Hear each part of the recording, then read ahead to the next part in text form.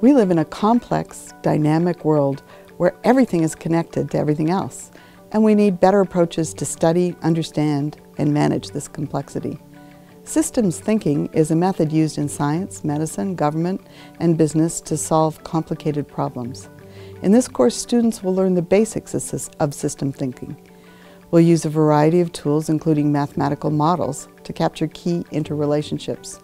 We'll also look at carefully designed simulations to reveal dynamic patterns.